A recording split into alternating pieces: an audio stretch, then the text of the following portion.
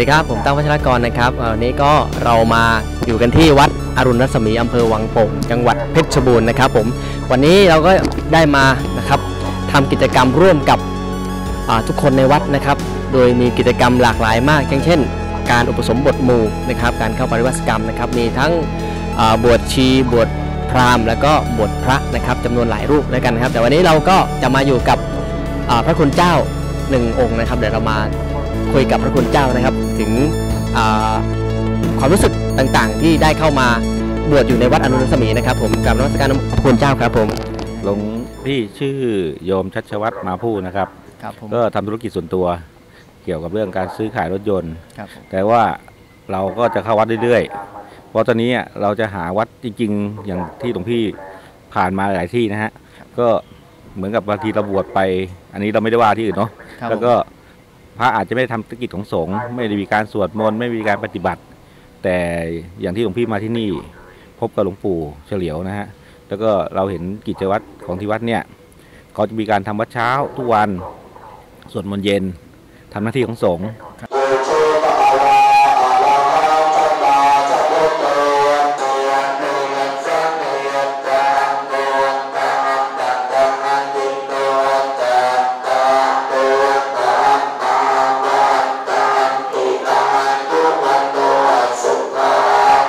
แล้วก็ในกรณีบางคนเนี่ยชีวิตมนุษย์เรานะ ก็คือเหมือนกับการทำมาหากินชีวิตก็มีอุปสรรคขึ้นขึ้นลงลงบ้าง เราคิดว่าอาจจะเป็นโชคโชคชะตาเราดีบ้างไม่ดีบ้าง แต่ที่เนี่ยเขามีการบวชปริวาสครั้งหนึ่งในชีวิตครับผมได้มาบวชและที่นี่มันดีอย่างหนึ่งคืออ่าบุคคลใดที่จะเข้ามาอุปสมบทเพื่อเข้าปริวาสเนี่ยถึงเราจะบวชน้อย แต่การบวชที่วัดนี้จะ คือจะปฏิบัติตามรอยพุทธองค์ทุกอย่างแล้วก็เข่ไม่งมีครัดไม่มีค่าใช้อ่าจ่ายคืออย่างนี้มันถ้าคนขอให้ให้ให้ท่านมาด้วยจิตใจที่ดีอะคือตั้งใจที่จะมาเรียนรู้บวชแล้วเรียนไม่ใช่ตั้งใจจะบวชอย่างเดียวครับผมอยากจะเรียนรู้หรือศึกษาหลักธรรมะครับผมอ่าหลวงพี่ว่าขอแนะนำเชิญมาที่วัดอรุณสัตมีได้ คือท่านไม่มีปัจจัยหรือไม่มีเงินก็ได้ ทางหลวงปู่ท่านจะออกให้ทุกอย่าง หรือแต่ถ้าถ้าเรามีบ้างก็จะร่วมทำบุญกับหลวงปู่ก็ได้ ถ้าเราไปบวชข้างนอกที่อื่นเนี่ย เดี๋ยวนี้ค่าใช้จ่ายมันค่อนข้างสูงนะต้องมีมีเป็นหมื่นหลายหมื่นนะแต่ถ้าว่าถึงแบบแบบบวชไม่ได้เลี้ยงงานอะไรกันแล้วแต่นะฮะเครื่องอัฐบริการต่างๆ ที่ต้องใช้ก็เป็นเงินทั้งนั้น แต่ที่นี่หลวงปู่ท่านให้ฟรีเลย มีพร้อมหมด มีฟรีทุกอย่างเลยขอเพียงแต่ว่าให้คุณเตรียมตัวเตรียมใจมาด้วยด้วยความตั้งใจจริง ๆ ที่หลวงพี่ชอบอย่างคือการโทรระเบิดเป็นพระก็ปริวาสเนี่ย พระก็บวชเสร็จ อ่าเช้า ตีสามนี่ต้องตื่นเลยนะ เพราะอยู่บ้านนี่เราอย่างไงก็ได้ อันนี้มีถึงเวลาปุ๊บต้องบุกเลย ลุกก็ขึ้นมาถึงก็ ลุกขึ้นส่งน้ำกว่าจะมาเตรียมตัวก็ประมาณตีสี่ก็ทำวัดครับถึงประมาณหกโมงก็จะเสร็จเอกัจจังดักสัลาเม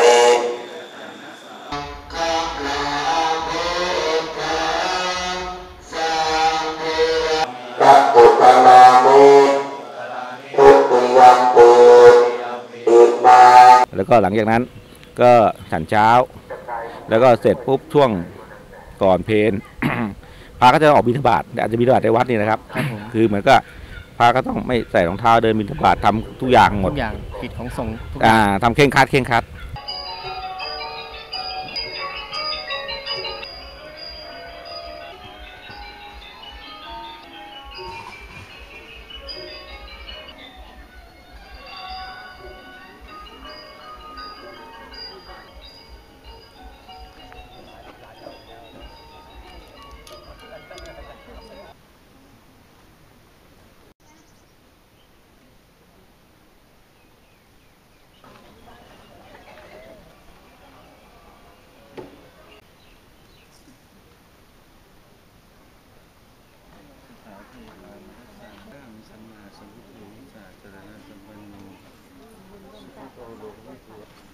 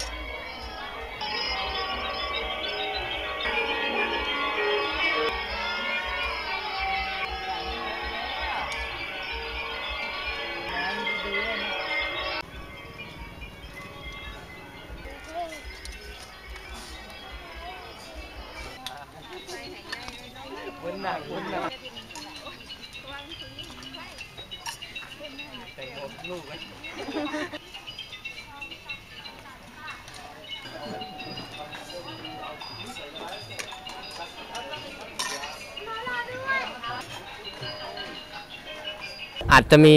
หลายท่านที่ยังไม่เข้าใจคำว่าพระเข้าปริวาสกรรมนะครับ ก็อย่างอย่างที่นี่การเข้าปริวาสกรรมนั้น เขาต้องทำยังไงบ้างครับหลวงพี่อ่าการเข้าปฏิบัติกรรมนะฮะก็คือ เหมือนกับทำตามตามบัญญัติของสงฆ์ที่เขาทำนะฮะก็คืออาก่อนที่เราพอบวชเสร็จปุ๊บอ่าวันที่พอเริ่มเข้าปฏิบัติจริงๆนะฮะพระนี่จะต้องไปจำวัดอยู่ในกุดป่าในป่าแล้วก็อยู่เป็น เอ่อกุดเป็นไผ่แค่กุดใครกุดบันแต่อันนี้เราจะไปกุดเป็นกลางเต็นท์กลางเต็นท์ ของใครของมัน เมื่อพระใหม่อุปสมบทเรียบร้อยแล้ว แต่พระเก่าที่จะเข้าปริวาสกรรม ต้องมาขอมานัดกับคณะสงฆ์โดยเข้ามาทีละรูป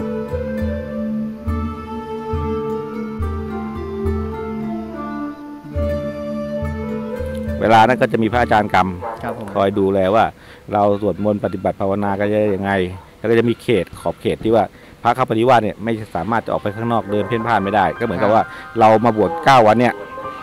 เราได้ปฏิบัติปฏิบัติจริง ๆ จากนั้นพระมานัดที่จะเข้าปริวาสต้องไปอยู่ป่า ไม่อยู่ในอาคารหรือใต้ชายคาอื่นใด บางรูปก็ไปปฏิบัติเพิ่มเติมด้วยตัวเอง บางรูปก็สนทนาธรรมแลกเปลี่ยนความคิดเห็นกัน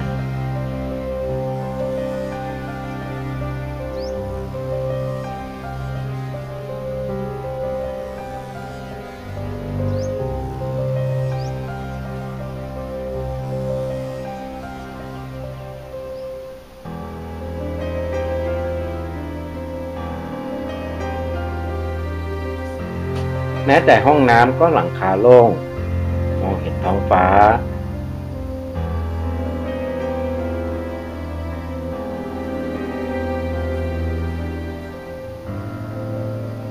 โดยการเป็นอยู่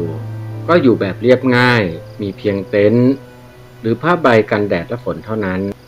อย่างที่คนที่มาปฏิวัตินะอย่างที่อย่างพอช่วงมีเวลาสักช่วงเที่ยงเนี่ย เพราะว่า ทางหลวงพ่อท่านก็จะปล่อยให้เป็นอิสระอิสระเออบางคนก็ได้มานั่งคุยกันแลกเปลี่ยนการต่างมาต่างอาชีพต่างหลากหลาย ทุกคนก็มองไปพอเสร็จแล้วในทางเดียวกันว่า เรามีเวลาที่ได้มาใช้สมาธิใช้สติครับนะครับทำให้เราได้มีโอกาสได้คิด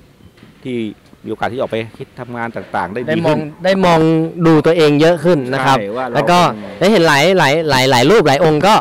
นั่งสมาธิวิปัสสนาอยู่ที่ป่าก็มีนะครับในช่วงที่ปล่อยให้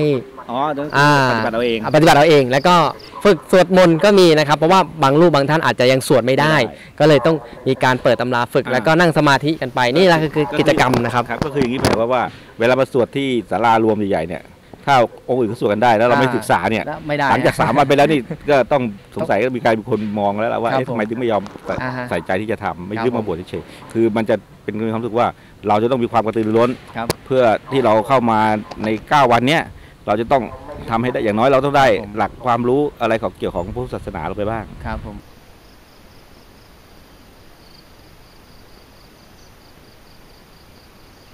ตกเย็นก็จะไปทำวัดสวดมนต์ร่วมกัน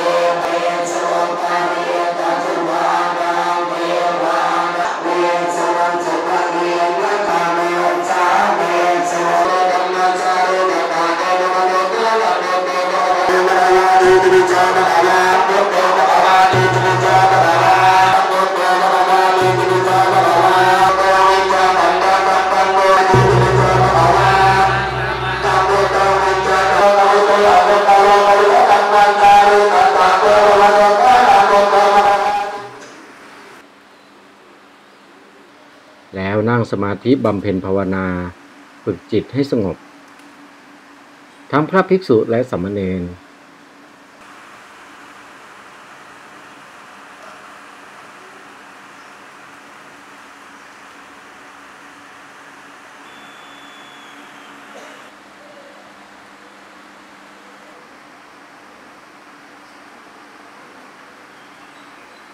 ทั้งพระภิกษุ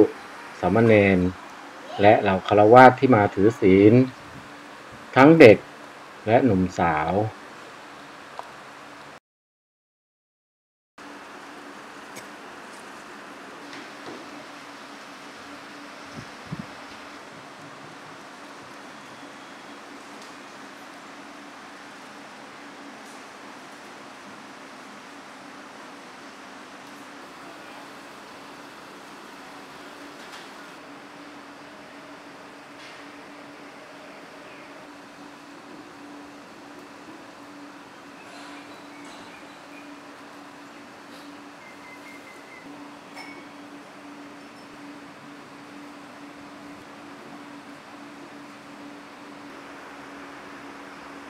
พอหลังจากสวดมนต์ ที่ศาลาใหญ่รวมเสร็จใช่ไหมฮะครับผมอ่าแล้วก็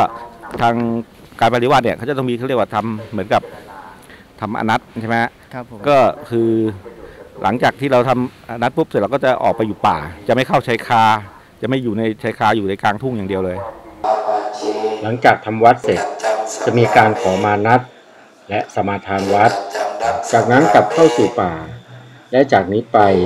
จะไม่มีการอยู่ใต้ชายคาใด ๆ จนกว่าจะเก็บวัดในตอนเช้าเสร็จวัตตสมาธิยามิทุติยมปีมานัตตสมาธิยามิตอนเช้าเช้ามืดก่อนมาสวดก็เรียกว่าเขาเรียกว่า เก็บวัด เก็บวัด เก็บวัดเพื่อเราสามารถที่จะ เข้ามาใช้ชีวิตในชายคาในวัดวัดได้ นี่คือกิจวัตรนะครับ ไม่ใช่วัดไม่อ่าไม่ใช่ไม่ใช่ไม่ใช่ไม่ใช่กิจวัตร คำว่าวัดนะครับ หน้าที่ของสงฆ์อ่าใช่ครับ หน้าที่ของสงฆ์ที่เก็บวัได้ดสงฆ์ที่นั่นเองเขาปฏิวัติรุ่งเช้าหลังจากทำวัดเสร็จจะมีการเก็บวัดเพื่อใช้ชีวิตปกติ เข้าสู่อาคารที่มีหลังคาได้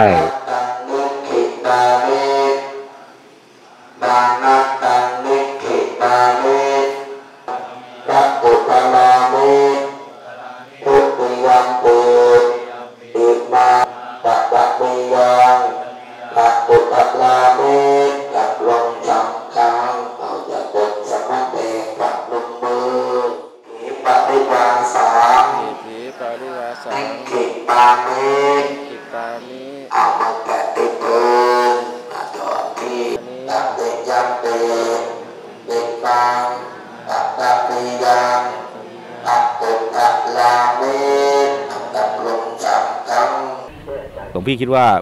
มันเหมือนกับว่าเป็นการให้เรามีระเบียบวินัยกับตัวเราเองด้วยฝึกขึ้นตัวเองไปในตัว ใช่ มีวินัยในตัวเองมากขึ้น ถ้าอย่างเราสมัยเราอยู่เป็นคารวาสนี่ก็อิสระยังไงก็เสรีได้เออจะตื่นเจ็ดโมงแปดโมงก็ได้ แต่อย่างนี้ไม่ได้ แล้วไปฉันอาหารเช้า ซึ่งโดยมากก็จะเป็นข้าวต้มซึ่งง่าย ๆ เสร็จจากฉันเช้าก็จะมีการบิณฑบาตและฉันเพนที่มีญาติโยมผู้มีจิตศรัทธานำมาถวาย อิเตระเตจักขาเมตะรุวะนะกะหะเนเตหะวันตุมิเกเตภูมมาจยันตุเทวะตะละตะละวิสเมยักะคันทัปนาคาดินจันตาสันติเกยังมุนิวรวัจนังสาทโวเมสุนันตุยติตามจาตาริปุริสยุกานิอัญญา เกตังโลกันสาตินาพิธามมะเวตินาอ่ามือแตะโต๊ะครับ แตะโต๊ะหนึ่งสองสามเอาสาธุสาธุอ้าโยมออกจากโต๊ะอาหาร พระคุณเจ้าอย่าเพิ่งเอามือละโต๊ะนะครับจับไว้ก่อนถือว่าเป็นอาหาร บริสุทธิ์แล้วเรียกมหาสังฆทานสาธุอะให้พรไปเลยอาจารย์โยมอาจจะติดกับทอดจะถามว่าติวังอาปุราปาลิปุเตนติสังกปรังเอมะเมมะ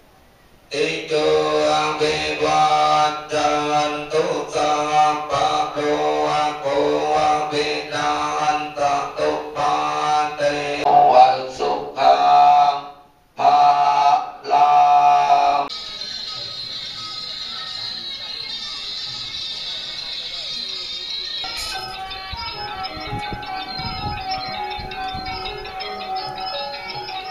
ยการฉันในบาตรตักอาหารที่จะฉันทุกอย่างลงในบาตรโดยฉันเพื่ออยู่เพื่อดำเนินชีวิต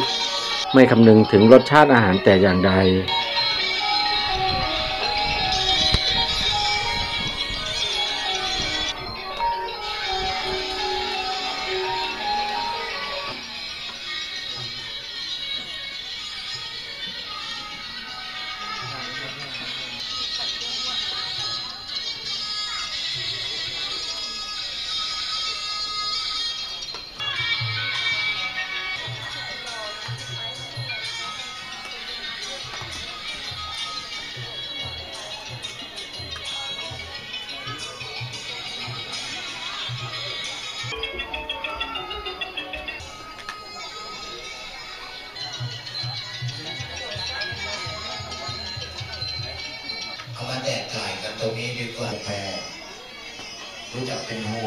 แม้แต่สามเณรน้อย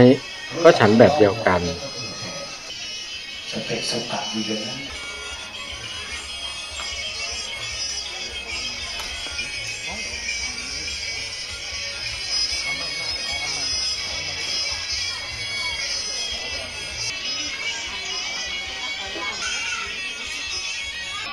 จะมาเนนทำไมฉันน้อยจังอะฉันน้อยจัง เก่งจังดีจังกันอนุโมทนาด้วยครับ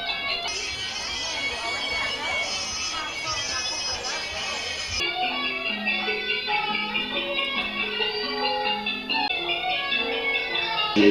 นะทานสามเณรไป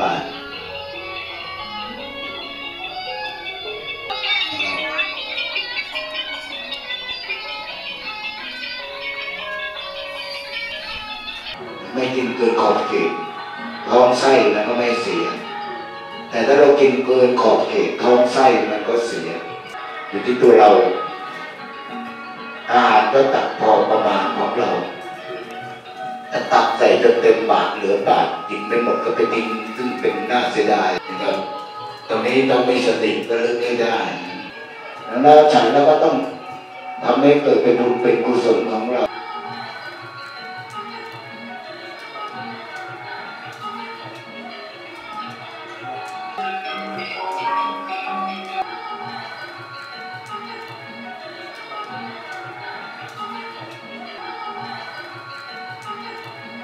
ญาติโยมที่มาปฏิบัติธรรมก็รับประทานอาหารร่วมกัน ฉันเพลเสร็จ พักผ่อนตามอัธยาศัย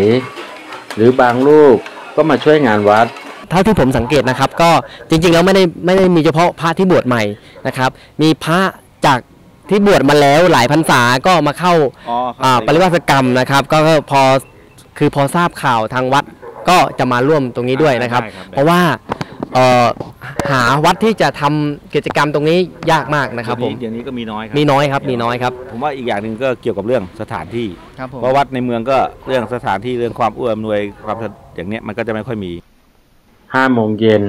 ก็จะมาทำวัดสวดมนต์นั่งสมาธิภาวนาฝึกจิตจะมออันเทอันดังตาจาเตจาสา ตาเจนดังวาจาเยวะเตตัสสาวาธรรมเบกุกัมบังปะกตังไม่ยายาสาอันโกอังกัตยังกาอังวา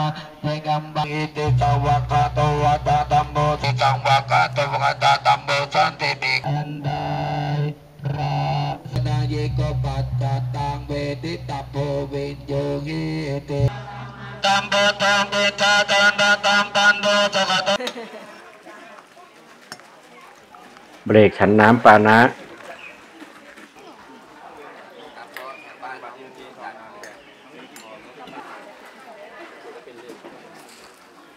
น้ำอะไรครับเต้าหู้ะ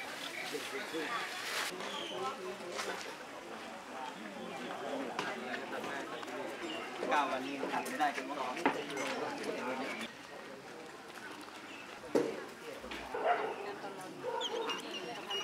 โกปัจจตังเวทิตาโพวิญโยหิติ ตัมเบตัมเบตาตันตันตัมตันโดสกต เบรกฉันน้ำปานะ น้ำอะไรครับเต้าหู้ครับ แล้วจริงๆ เราก็ดูว่าอยู่อะพระพระในเมืองเดี๋ยวนี้ก็ค่อนข้างจะไม่มีเวลาที่สวดมนต์ด้วยพระเท่าไหร่เนาะครับผมไปไปยุ่งทางโลกเขาเป็นเรื่องส่วนใหญ่คิดที่ว่าเป็นส่วนเยอะอันนี้เราไอโฟนอ่าที่นี่จะไม่ให้เลย เพราะว่าครับผมจะไม่ให้ห้ามครับห้ามห้ามใช้โทรศัพทีท์วีทำะไสักเครื่องไม่มีนะครับ ไม่มีฮะที่วัดไม่ไม่มีมีไม่มีทีวีครับผมไม่รู้ไม่รับรู้โลกภายนอก จากนั้นมาร่วมกันฟังเทศน์ทั้งจากพระเถระที่หลวงปู่นิมนต์มา และจากหลวงปู่ที่เทศสอน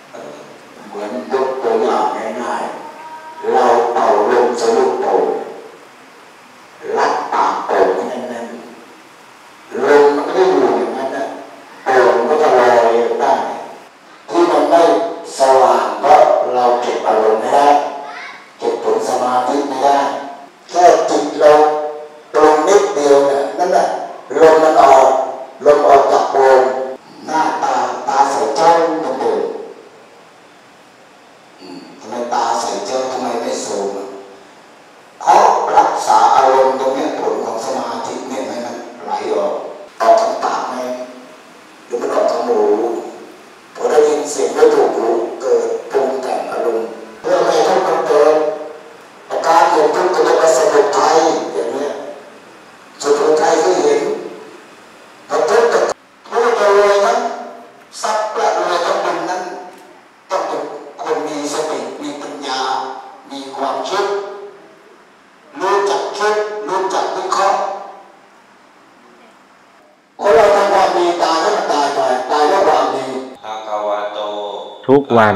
ทั้งพระภิกษุและญาติโยมที่มาปฏิบัติธรรม ร่วมกันถวายกันเทศ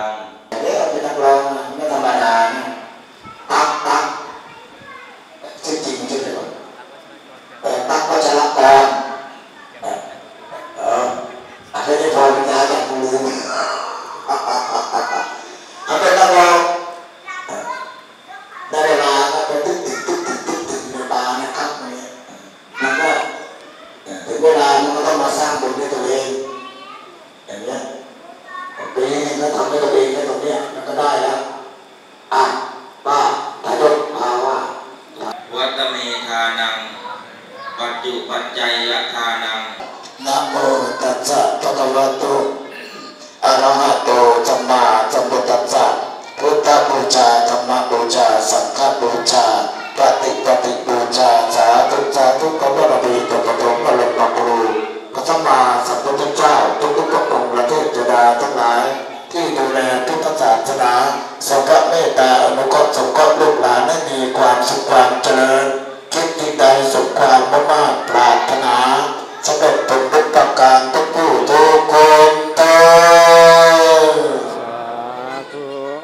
หลวงพี่คิดว่าอีกอย่างหนึงนะก็คนที่อยากมาทำบุญที่นี่ก็หมายความว่า มาทำบุญกับพระที่อยู่ปริวาสเนี่ยมันจะค่อนข้างพระไม่พูดง่ายยังอยู่ระเบียบวินัยเคร่งครัดครับผมนะครับก็คือบาปน้อยหน่อยก็พูดง่ายๆนะอ่าคนก็อยากอยากทำบุญอย่างนั้นคิดว่าจะเป็นอย่างนั้นนะฮะครับผมครับ แล้วก็เลยทุกอย่างมันก็เลยมันก็เลยดูดูดีดูมีระเบียบวินัยขึ้น เมื่ออยู่ปริวาสจนครบเก้าวัน พระที่เข้ามาปริวาสจะมาขอออกปริวาสกับคณะสงฆ์โดยเข้ามาทีละรูป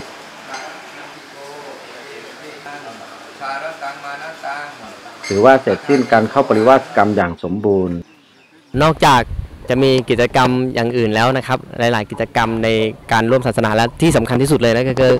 มีการหล่อพระประธานทุกปีหลวงปู่ท่านยังทุกปีครับผมคือมีการเหมือนกันร่วมบุญกันร่วมใจกันก็คือ หลังจากเสร็จงานปริวาสวันสุดท้าย หลวงปู่ท่านก็จะมีการหล่อพระทุกปีนะครับปีนี้ก็ถือว่าหลวงพี่โชคดี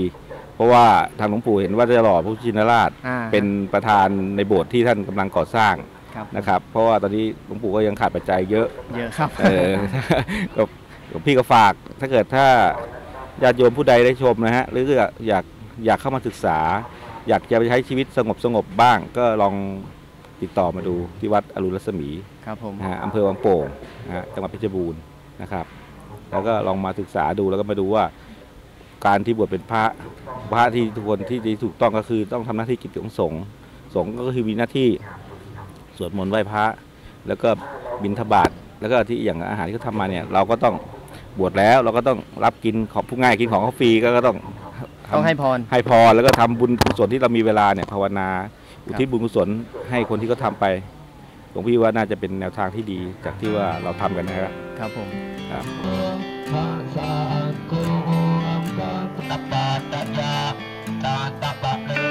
ในช่วงที่เข้าปริวัติกรรม หรือในช่วงที่มีกิจกรรมอยู่ในในวัดเนี่ยนะครับ ก็จะมีทั้งพุทธศาสนิกชนมาทำบุญกันนะครับ อย่างเช่น มีโรงทานอ่าจะจะมีนำอาหารมาถวายในช่วงช่วงฉันฉันเพลนะครับ ก็โอ้โหเยอะมากๆนะครับ ก็ใครที่อยากมาร่วมงานเนี่ยมาได้เต็มที่นะอาหารเพียงพอนะครับ น้ำดื่มเพียงพออยู่แล้วนะครับตกห่างจากโต๊ะอาหาร นะครับก็ขอขอบพระคุณพระคุณเจ้ามากนะครับที่มาให้ความรู้ให้อ่าแล้วมาพูดถึงกิจกรรมต่างๆ ในวัดอรุณรัศมีให้ได้ชมได้ฟังกันนะครับ ฝากถึงพุทธศาสนิกชนนะครับยังไงก็อยากให้มาร่วมบุญนะครับ ใครที่สนใจชอบในความเป็นธรรมชาติ หรือชอบในธรรมะอย่างแท้จริงนะครับ ลองมาศึกษากันดูที่วัดอรุณรัศมี หรือไม่ก็อะแต่งชุดขาวมานั่งทำวัดตอนตีสี่ก็ได้นะครับอ่าแล้วก็ทำวัดเย็นในช่วง 5โมงเย็นนะครับ ผมก็ก็ประมาณได้ครับ ก็ช้าหน่อยครับผมสวดมนต์เยอะหน่อยเพราะว่าว่าเราก็ได้เราคิดว่าเว้ยนั่งนานไม่ใช่แต่ว่าจริงๆแล้วพอเราเริ่มอยู่เรารู้ว่ามันดีจริงใช่คๆรักาบรสวดมนต์ทำให้เราจิตนิ่งขึ้นครับผมครับก็ผมว่าเราก็สามารถที่จะออกไปใช้ชีวิตใช้มีการมีสติมากขึ้นครับผมนะครับก็เชิญเชิญทุกท่านนะครับครับผมก็ยังไงก็ฝากติดตามช anel ของเราด้วยแล้วกันนะครับ กดไลค์กด subscribe มาเยอะๆนะครับผมพ วกเราก็จะนำสาระดีๆนะครับ ทางธรรมะทางเชิงปฏิบัติ การใช้ชีวิตนำมาเผยแพร่ให้คุณได้ได้ทราบได้เรียนรู้กันนะครับ แต่ทีนี้ขอร่ำลากันไปก่อนนะครับผม สวัสดีครับ